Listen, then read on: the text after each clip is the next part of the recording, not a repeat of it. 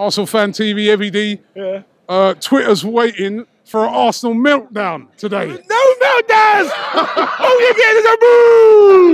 Boo! That was a classic! The classic of all classics. I come back, my first game back, boom! That's all I can say. What a comeback, man. We showed grit, determination, cojones, balls, you name it, determination. Oh my, my, my, my nerves were on edge, man, in that game, I'm telling you. My heart was in my mouth, man. I'll tell you what, man, it was, it was, it was a roller coaster of emotions.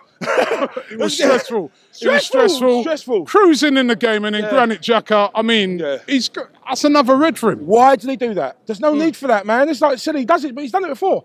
He's hmm. got form for that. Do you know what I mean? No reason for that. And do you know what? Can I be honest with you? This I was dreading this game in a way because you know what? Because they was doing that old Arsenal, no frustration Arsenal that don't that don't score, that don't shoot. They just pass it, try to pass it in. Hmm. I was dreading. it. I was like, no, please, not this Arsenal turn up today, please. And then we came with the goods. We came back. Boom!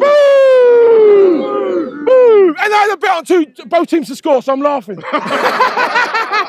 And um, and um, listen, that's up to second in the table now. Knocking on the door, still far off Chelsea, but knocking on the door. That's all we can do at this stage. We are second in the league, so we are second in the league. We are second in the league, so we are second in the league. But that's all we can do at this stage, isn't it? Just Yeah. knock on the door. Knock on the door, door and just wait for them to crack. That's all that happens. You know what I mean? Just go put them under pressure. Chelsea, we're coming for ya! We're coming for you, mate. Look over your shoulders. We're coming for ya.